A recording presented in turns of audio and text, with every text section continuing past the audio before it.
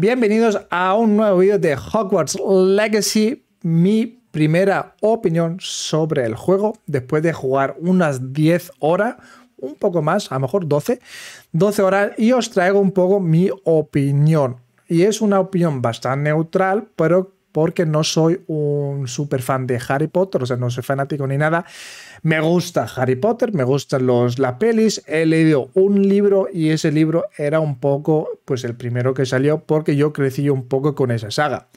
O sea, cuando salió el primer, eh, el primer libro, pues yo tenía esa edad donde vas comenzando un poco, creo que 12 o 13 años tenías, tenía y es un poco que me he crecido con, lo, con las pelis, con los libros y esas cosas.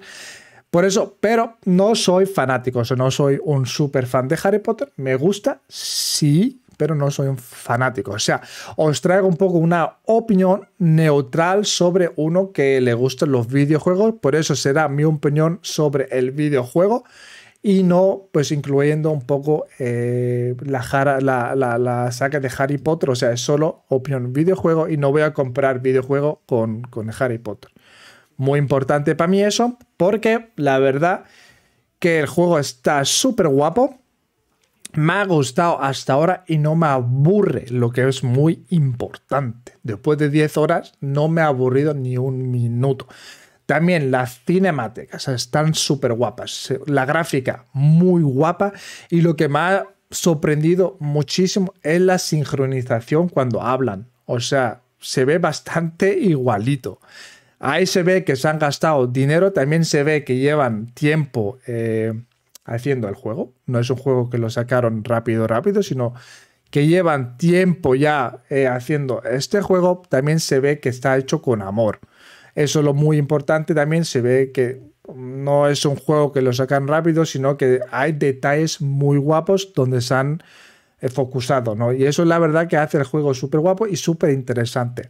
También las misiones, las misiones no son siempre lo mismo, o sea, hay mucha variedad sobre las misiones. Hay misiones donde tienes que combatir a trolls, hay misiones donde tienes que buscar algo. Luego están las misiones secundarias, o sea, si te quieres dejar un poco las misiones principales, te puedes dedicar a las misiones secundarias que hay muchísimas. O sea, Hogwarts está llena de misiones secundarias, lo que lo hace muy también interesante porque vas encontrando cosas y te dan cosas como, eh, eh, bueno, un tipo equipación, ¿no? Tienes un gorro, te puedes poner un gorro, te puedes poner un mantel, te puedes poner una chaqueta, etcétera, etcétera, y vas mejorando tu carácter. También lo hace muy interesante porque así no te dedicas solo a hacer misiones principales y las secundarias también tienen un poco su, su sitio, ¿no? Porque así vas mejorando también tu carácter.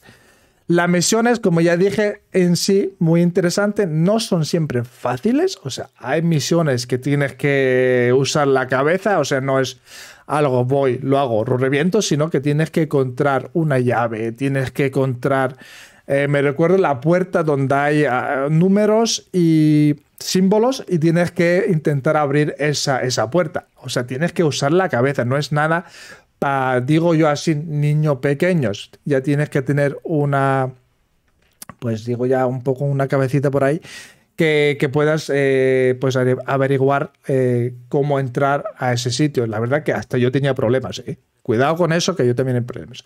Luego, sobre el gameplay, un poco los combates me encantan. En el trailer que vi dije, uy, esos combates no se ven tan fluidos, se ve bastante complicado, pero nada, son muy fluidos.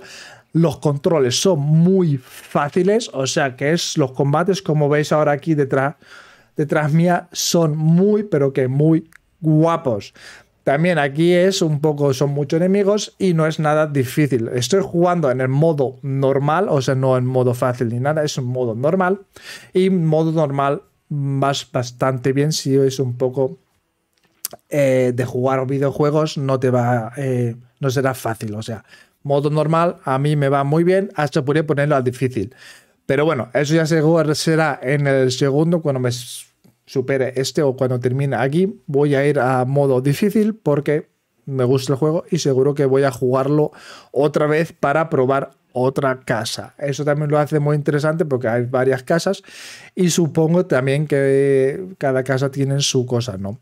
Por eso, gente, por mi parte, yo lo veo muy que muy interesante. No me ha aburrido por ahora nada. Traeré opinión número 2 cuando ya lleve más tiempo jugando, pero como ya dije, son 10 horas, 10 o 12 horas jugando. Y por ahora, la verdad que me ha pillado bastante, estoy jugando bastante y está muy interesante. Así que no sé lo que opináis vosotros. Tienes el juego tú también. Opina en el comentario lo que te, lo que te ha traído el juego, si te aburre o si te gusta o no. Por mi parte, opinión neutral, no de un fanático, sino de uno que juega o le gusta jugar videojuego open world.